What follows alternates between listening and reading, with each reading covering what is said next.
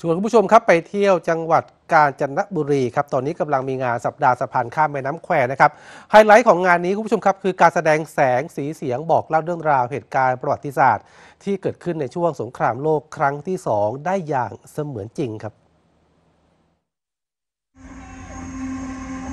เส้นทางรถไฟสายโมรณะสายนี้ เริ่มต้นจากสถานีหนองประดุกอำเภอบ้านหลำไปทางทิศตะวันตก แล้วสร้างเส้นทางเลียงไปตามแม่น้ำแควน้อย ลัดเลาะไปตามลำน้ำและป่าเขานายจงควบคุมพวกมันให้ดี อย่าให้พวกพรกจงแข็งงวดวิกเตอร์วิกเตอร์ Could you please คุณผู้ชมครับนี่เป็นส่วนหนึ่งของการแสดงแสงสีเสียง ชุดสะพานข้ามแม่น้ำแควตำนานรอยจารึกสู่สันติภาพครับในงานสัปดาห์สะพานข้ามแม่น้ำแคว และงานกาชาติจังหวัดกาญจนบุรีครับเป็นการแสดงในพื้นที่จริงนะครับและสร้างความประทับใจแก่ผู้ชม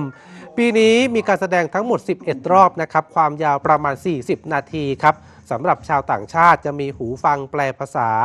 กว่า 30 ที่นั่งด้วยนะครับโดยเปิดให้ประชาชน เข้าชมฟรีทุกรอบการแสดงนะครับ ก็คือรอบ 1 ทุ่ม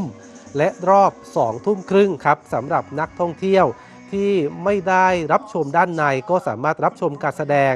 ผ่านจอ LED ขนาดใหญ่บริเวณด้านหน้างานได้นะครับ ซึ่งมีที่นั่งรองรับประมาณ 400 ที่นั่งงานสัปดาห์สะพานข้ามแม่น้ำแควจัดไปจนถึงวันที่ 8 ธันวาคมนี้นะครับคุณผู้ชม บริเวณสะพานข้ามแม่น้ำแควอำเภอเมืองจังหวัดกาญจนบุรีครับไปเที่ยวกันได้ครับ